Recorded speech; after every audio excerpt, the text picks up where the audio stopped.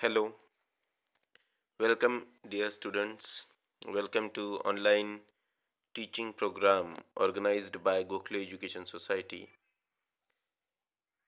I am Mr. B.S. Patil, working in HL High School English Medium, Ojhar Township. Today we are going to study Geography, Standard 6. In previous video, we studied lesson number 8, Natural Resources. Today we are going to study lesson number 9, Energy Resources. In this lesson, we are going to study all the resources from which we get energy in our day-to-day life first let's see what is energy resources as man's needs increased several changes took place in the use of energy resources and devices energy resources can be classified in many ways such as conventional and non-conventional renewable and non-renewable substance based and process based etc on the basis of, of all this classification we can study energy resources. Here we are going to study uh, substance based and process based energy resources so let's see substance based energy resources substance based energy resources are biotic availability of these resources is limited. The use of these resources leads to pollution. These resources cause damage to the environment.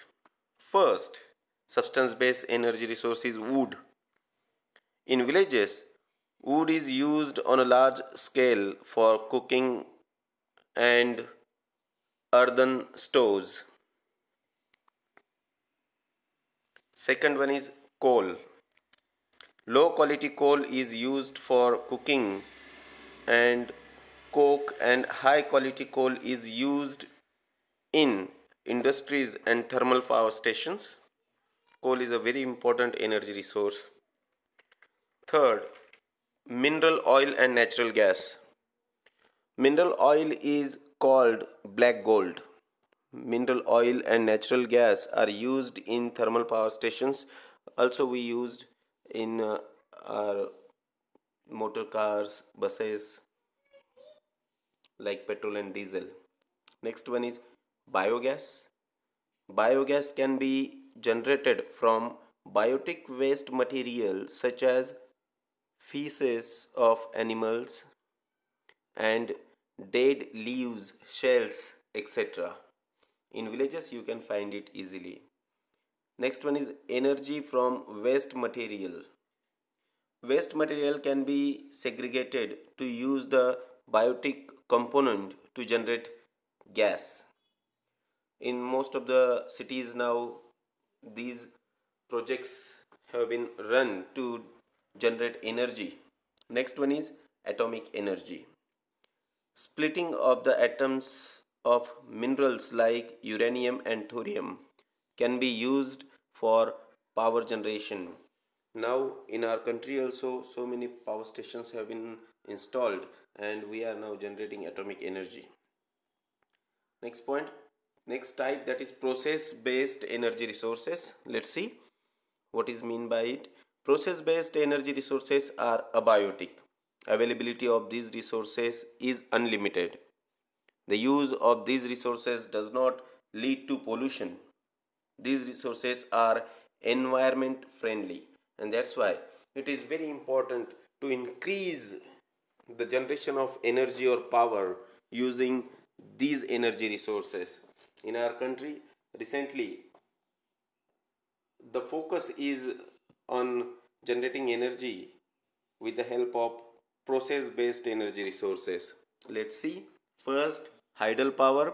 Hydel power is the power obtained from the kinetic energy of running water. We are having so many dams in our country and with the help of the water of that dam, this power is generated. This is called hydel power. Next one is wind power. We all know windmills you must have seen somewhere. In our Maharashtra Nandurbar district there is so many windmills installed by the government. Nowadays wind is used for power generation due to wind speed. The blades of the windmill turn generating kinetic energy. This kinetic energy is further converted into electricity and with the help of windmills a, num- a great amount of electricity can be generated and that is cheap and environment friendly. That's why it is very important. Next one is solar energy. The light and heat received from the sun is utilized for the generation of solar power. You must have seen solar heaters. Most of the people are now using it.